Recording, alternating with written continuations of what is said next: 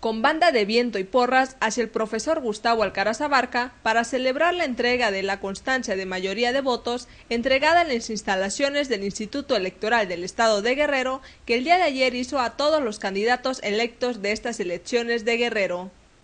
A su llegada, Alcaraz Abarca saludó y felicitó al candidato electo a diputado local por el Distrito 24, Bernardo Ortega Jiménez, y al candidato electo a presidente municipal de Mochitlán, Severo Espíritu, quienes se mostraron contentos por el triunfo mayoritario en Guerrero de los candidatos del Partido de la Revolución Democrática.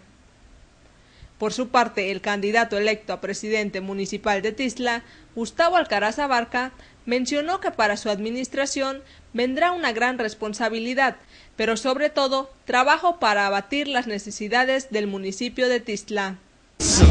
Mareli, ¿cómo me voy a sentir? Muy emocionado, muy contento por este resultado que nos ha dado la gente, que nos ha respondido, pues me siento muy feliz pues viene mucho trabajo, una gran responsabilidad que nos ha conferido el pueblo y sin duda que vamos a hacer todo lo que esté a nuestro alcance, lo que esté en, nuestro, en nuestras manos, en nuestro esfuerzo para poder lograr los objetivos, para lograr lo que todos los tislecos queremos.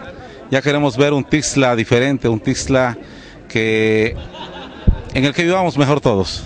Para finalizar, Alcaraz Abarca se dijo agradecido con el apoyo de la población de Tisla y sus comunidades, además de invitar a todos que sean parte del cambio que Tisla requiere.